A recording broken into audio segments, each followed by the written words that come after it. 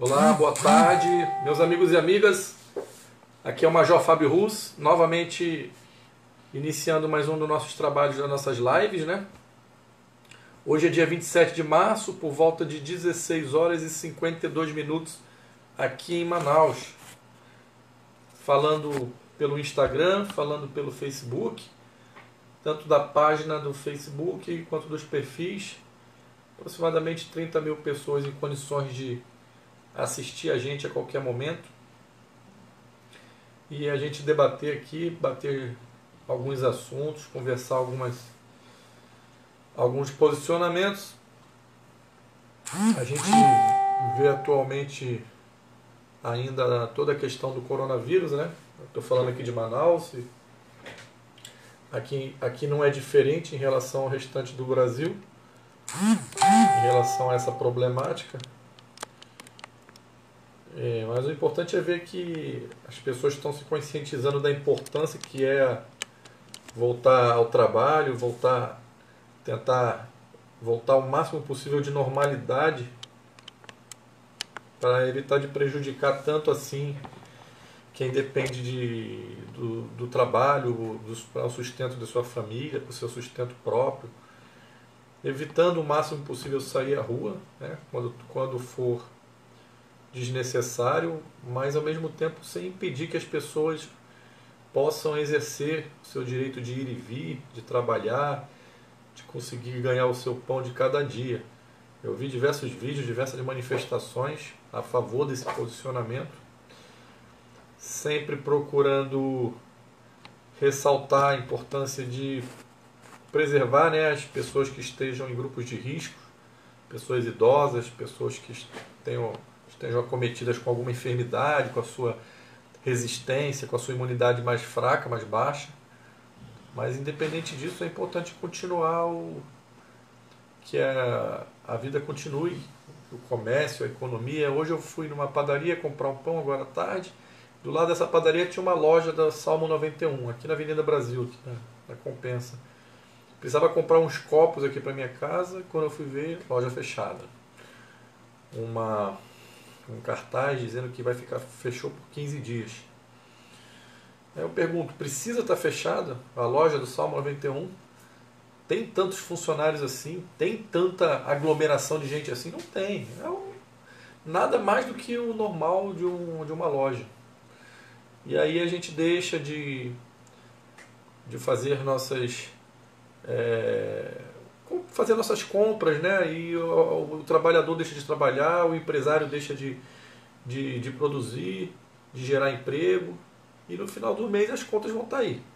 Hoje o pessoal está falando, né? Que o Bolsonaro. Eu, falando não, eu vi, eu vi o Bolsonaro falando, aqui ó, governadores, prefeitos, vocês querem fechar a cidade de vocês, está aqui, ó, artigo, se não me falha a memória, 486 das leis, consolidação das leis do trabalho. Está aqui, ó.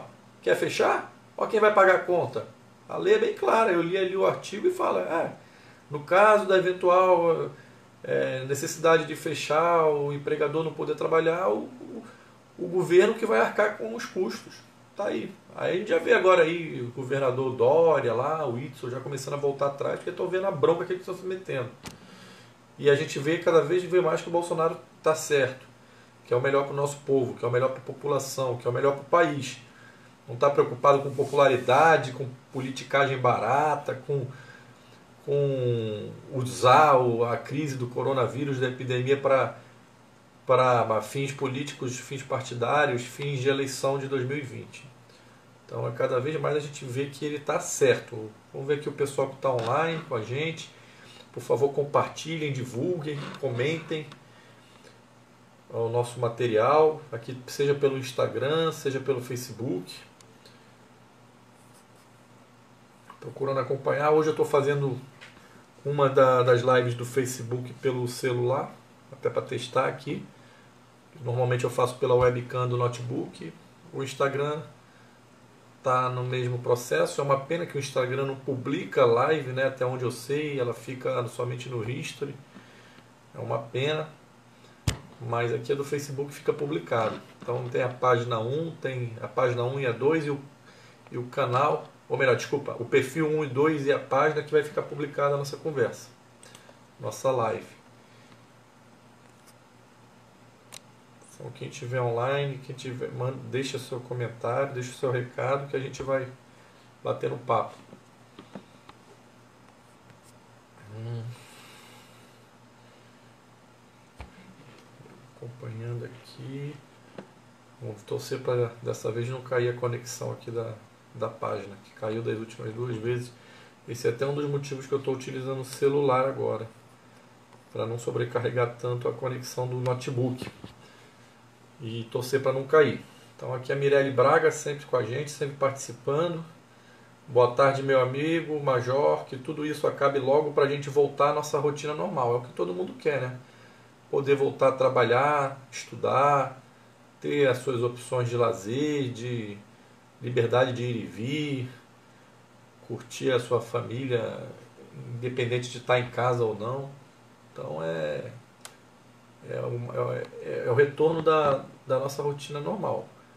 Sempre procurando fazer as coisas com responsabilidade e tomando as medidas de precaução, de prevenção, de limpeza, de higiene. Hoje eu fui no trabalho, né, durante o horário do, do expediente, eu fui é, numa missão lá na Operação Acolhida, né, onde tem uns abrigos dos venezuelanos ali na Torquato Tapajós. E fui também no Hospital do Exército. E levei a minha máscarazinha, levei meu álcoolzinho ali num, num borrifador no bolso. Uma aglomeração de pessoas, né? O abrigo dos venezuelanos não tinha muita gente não, porque a maioria deles estavam na rua, estavam estavam correndo atrás de ganhar algum sustento. Mas no hospital do exército tinha uma, uma quantidade considerável de gente, entrei em determinadas instalações mais sensíveis, né? centro cirúrgico, TI, fazer umas inspeções técnicas de engenharia lá e usando máscara normal, assim como as outras pessoas que estavam trabalhando lá.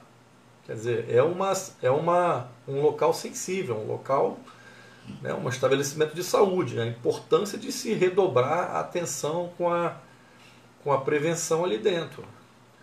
Mas não significa que ninguém vai trabalhar, eu vou chegar lá para o meu chefe e vou falar, ah, não, eu não vou lá no hospital não, porque lá é o hospital e eu posso pegar o... Não, negativo, fui lá fazer meu trabalho. Lá, a inspeção de engenharia lá, a orientação técnica, usando máscara, o que foi, e a vida continua. Então vamos prosseguindo.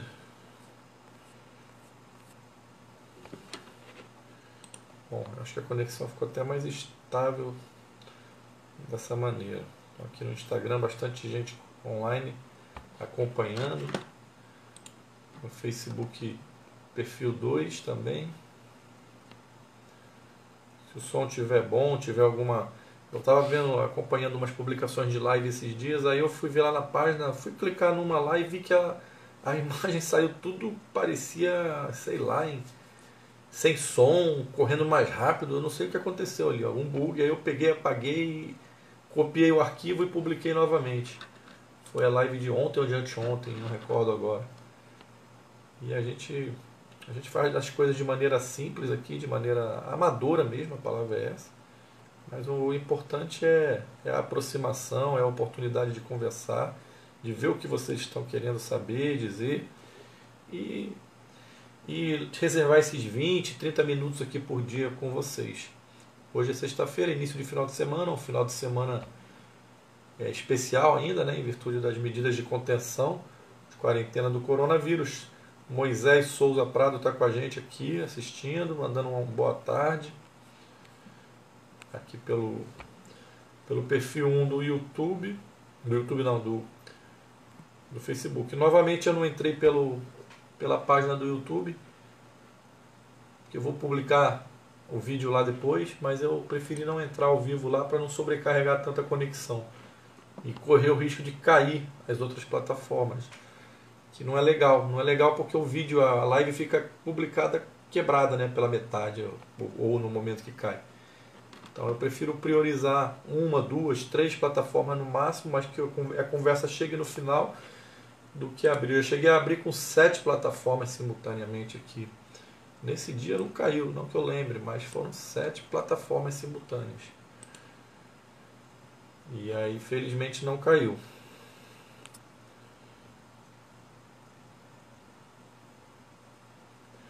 o Moisés está falando que está muito bom a qualidade da, da câmera, ele está vendo aqui pelo perfil 1 do Facebook, né, do Fábio Russo 1. Que bom, que bom que o som e a imagem está chegando bem. A gente vai aos poucos melhorando mais as coisas aqui. O Zeca Maia está mandando um selva pra gente. Selva, meu amigo. Renan Valente, várias pessoas. Quatro pessoas. Ah, Kátia Assis, boa noite. Ah, já é boa noite aí, né? Está no, Rio tá no Rio de Janeiro. Aqui em Manaus ainda é boa tarde, ainda estamos às 17 horas. O importante não é quantas pessoas estão ao vivo online aqui com a gente. O importante é que a conversa fica publicada e várias outras pessoas podem assistir depois, a hora que quiser. Então tem um cidadão aqui que estava sendo irônico, falando a ah, várias pessoas, quatro pessoas. Agora que eu entendi. Legal, meu amigo Renan Valente. Giovanni Munhoz, olá. Boa tarde, seja bem-vindo.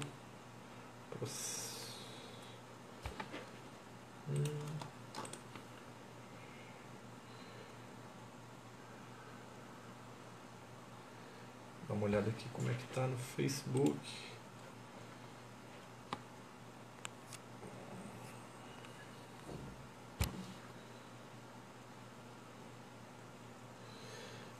Aqui no contexto do, da nossa cidade, né? Hoje eu estava batendo papo com um amigo a respeito de política.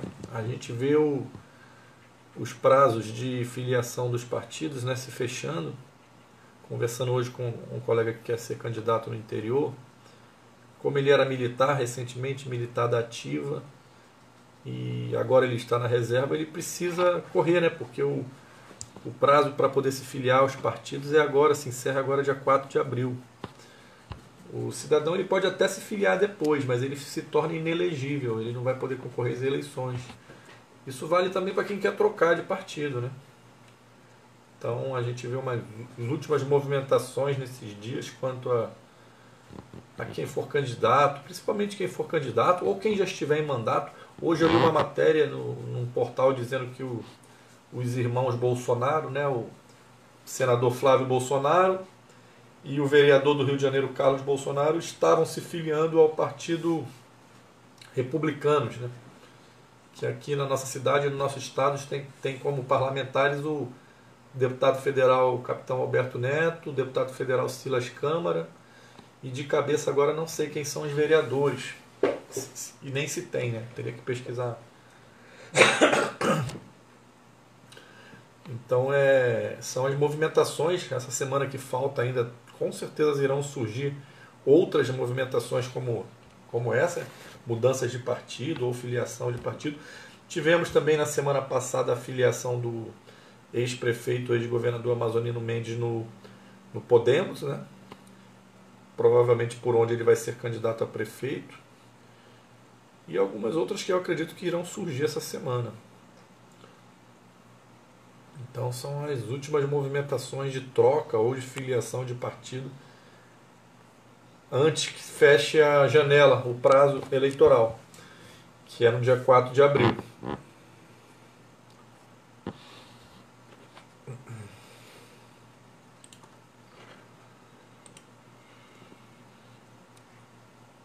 Quanto a, a, eventuais candidaturas aqui em Manaus, eu, eu não, não verifiquei nenhuma novidade, além dos pré-candidatos que já se manifestaram né, publicamente e também os seus partidos. A principal novidade foi essa questão do Amazonino definindo o partido dele.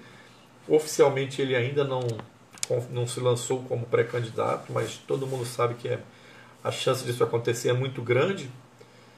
Até porque é, no partido Podemos, recentemente o, o deputado estadual Wilker Barreto, que é o presidente do partido, ele se lançou como pré-candidato a prefeito. Né? Então agora com o Amazonino lá, eu, não, é, eu acredito que ele deva rever a posição dele numa candidatura, eventual candidatura de prefeito ou vice-prefeito. Mas isso são articulações dentro do partido Podemos, eu não tenho gerência nenhuma lá. O que eu estou vendo, o que eu falo são situações que eu acompanho nas mídias, nas redes sociais. É, e basicamente é isso. Vamos ver aqui. A Letícia Bonfim está perguntando: existe alguma possibilidade de haver prorrogação no prazo para filiação partidária devido a muitos órgãos estarem fechados por conta do Covid-19? É, a pergunta é boa, mas eu acho que não existe, até porque a filiação pode ser feita online é, filiação aos partidos, né? E por mais que os órgãos, né, partidos estejam funcionando às vezes, vou chamar assim, de baixa rotação, mas é a pessoa se filiar, entregar um, um formulário ou mandar pelo correio, eu não vejo dificuldade nem assim tão grande assim que possa é, é, que possa surgir essa possibilidade de ampliar prazos, né? É mais fácil que a eleição seja adiada, atrasada alguns meses do que isso acontecer. Eu vejo assim, apesar de não estar nada definido, não ter sido nada ainda oficializado, mas tem essa chance, né? Todo mundo sabe, diversos eventos estão sendo adiados, inclusive a própria Olimpíada, né? Que eu acho que é o maior evento do calendário mundial esse ano, Olimpíada lá no Japão, Jogos Olímpicos, e Existe essa possibilidade, existe. Agora, essa possibilidade em especial, que a nossa amiga perguntou, eu acho, na minha opinião, muito difícil de acontecer. Daniel, olá, algum plano do EB, né? EB, Exército Brasileiro, se a epidemia hipoteticamente atingir um pico altíssimo? Eu não sei lhe dizer, meu amigo. É, eu, não, eu, eu, eu não tenho como responder pelo Exército, pelo comando do Exército. Eu não, eu sou militar, eu sou engenheiro militar, mas eu não tenho esse nível de, de informação, esse nível de acesso de comando. Eu trabalho com engenharia, com obras, com questões mais é, pontuais. Isso aí é um nível de decisão, de gerenciamento, nível de alto comando, Estado-Maior do Exército, Ministério da Defesa, presidente Bolsonaro. Eu não tenho como lhe dizer. Eu acredito que a, o uso das Forças Armadas para ajudar na contenção, em diversas ações cívico-sociais que já são feitas normalmente até em outros tipos de atividades, possam ocorrer.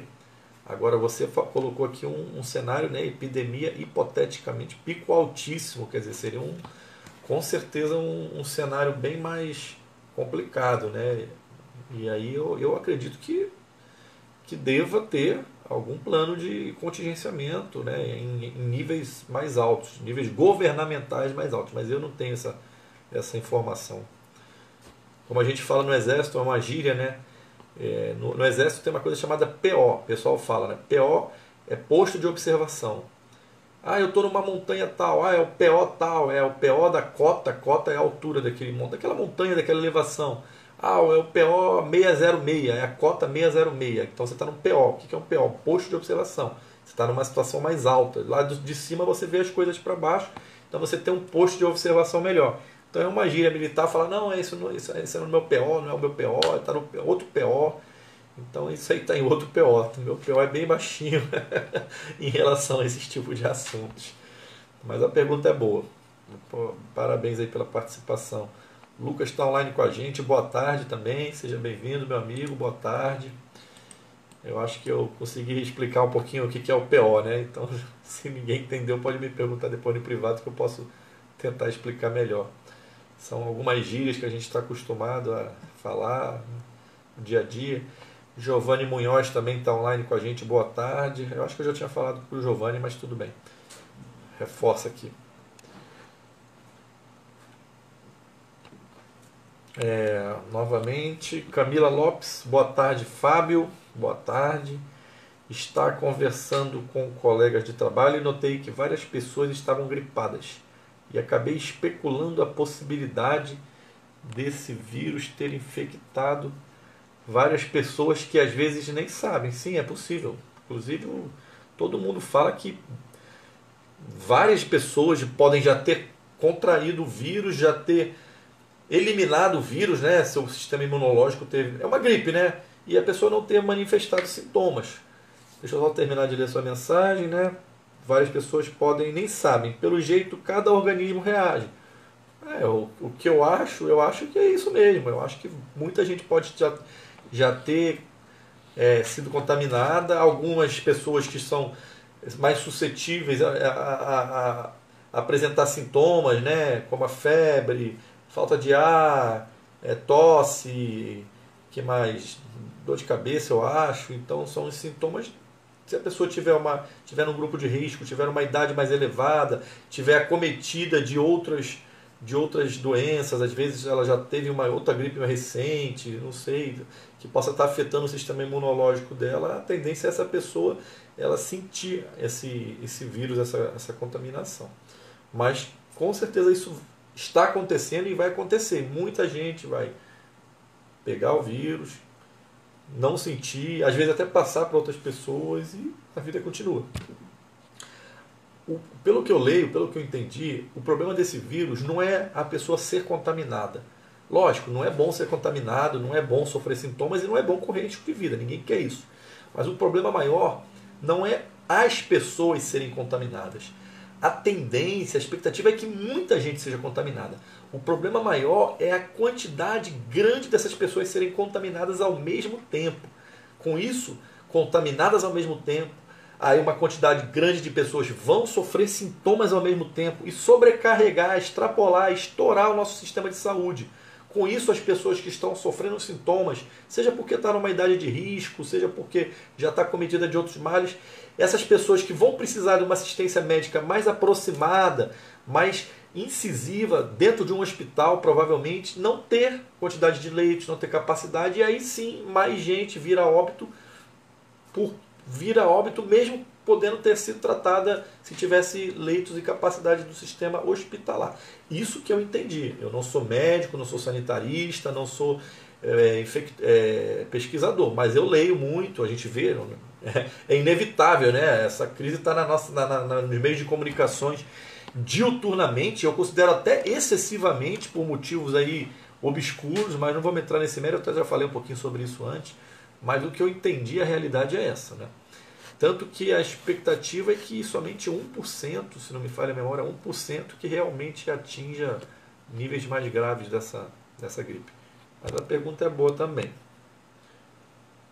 É, o Daniel que está online com a gente, valeu, velhos tempos de Parque 12. É, Daniel, eu, eu não sei quem exatamente é você, mas se você puder falar, porque tá só Daniel Daniel. E a gente com certeza fizemos muitos amigos lá no Parque 12, uma unidade, um quartel do Exército que eu tenho uma consideração especial. Até hoje, quando eu vou lá, eu reencontro vários amigos. Eu moro próximo do Parque 12 e, é, e com certeza é um quartel que tem um, um lugar especial aqui no meu apreço então, é, fala aí quem é o seu nome de guerra, a época que você serviu lá, só por curiosidade. É, o Leonardo Aline Gobira, Selva, nobre formador de opinião. Juntos em pensamento, os indivíduos de bem dessa nação, você é um deles. Agora, por ser médico obstetra, nesse momento na linha de frente, ah, sim, é, desculpa, é o, é o, segundo Tenente Gobira R2, Saúde 2000. Então nós temos aqui agora um depoimento de um, um companheiro, um amigo, que ex-militar que foi que é médico, segundo ele aqui obstetra, né? E eu não sei, meu amigo Leonardo, se eu estiver falando alguma coisa, alguma opinião que não proceda, se você quiser intervir aqui, eu vou ler o seu comentário e será muito bem-vindo. Você, como um profissional da saúde, que está, como você mesmo falou, na linha de frente aí, com certeza trabalha em hospitais, tira plantão, atende o, a nossa população, né? Obstetra, você deve, obstetra, você deve trabalhar com mulheres grávidas, né? E você com certeza tem uma muito mais nível de conhecimento do que eu. Mas muito obrigado pela participação. É, aqui está falando o Daniel, Cabo de Saúde Daniel Silva. Positivo. É,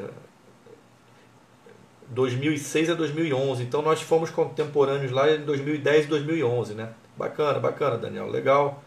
Legal reencontrar o um amigo aqui. OK? Uma satisfação. Eu não era muito frequentador lá do, do posto médico, lá do, do quartel, né? De vez em quando eu ia lá na dentista, na Tenente Ilha, mas eu nunca fui muito, muito frequentador lá não. Felizmente nesse aspecto eu tenho uma boa saúde, sempre tive desde criança, uma boa rigidez, é, rigidez né, de saúde, é difícil ficar doente. Lógico, todos nós já tive, né? Alguma gripe, aquela coisa toda. Joelho aqui perto do futebol, já são meio bichados já, já fiz cirurgia, mas é problemas mais graves assim. A idade vai chegando também, né? Tem um amigo meu que dizia que depois que a gente passa dos 35 anos, a, a vida começa a mandar os boletos, né? Boleto, boleto para é as doençazinhas, dorzinhas, é os boletos. E eu já, eu já venho começando a receber os meus boletos também. Vou fazer 40 anos esse ano, em julho. Então a gente já não é mais menino, não. Mas muito, muito legal aí ver, rever o amigo. Satisfação aí, lembrar dos companheiros do nosso Parque Regional de Manutenção 12 berço da manutenção da Amazônia Ocidental. Eloy Souza está com a gente também aqui no Facebook, mandou uma, mensagem, uma mensagem, show essa medida do presidente. Espartacus Valente também, boa tarde, seja bem-vindo, meu amigo, boa tarde. É, vamos acompanhar aqui as mensagens.